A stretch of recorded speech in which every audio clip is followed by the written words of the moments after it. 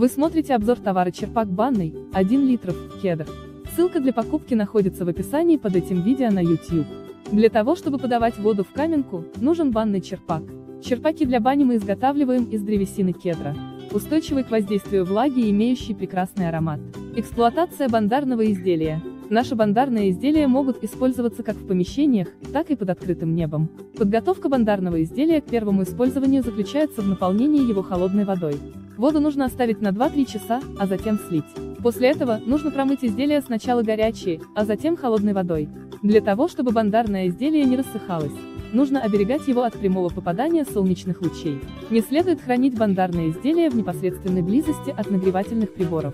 Для очистки бандарного изделия после использования следует ошпарить его кипятком и промыть моющими средствами. Для очистки бандарных изделий нужно выбирать нетоксичные моющие средства, не содержащие в своем составе ароматизаторов. Хорошим средством для очистки неокрашенных изделий из натурального дерева является пищевая сода или горчичный раствор. Кедр – удивительное растение, которое не только обладает целебными свойствами, но и создает удивительно теплую и уютную атмосферу. Здоровья вам и легкого пара! Приятного вам парения и купания! И будьте здоровы! Материал – алтайский кедр.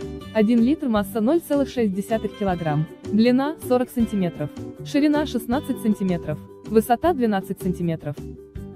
Если вы смотрите этот ролик на YouTube, то заказать товар можно по ссылке, которая находится в описании под этим видео.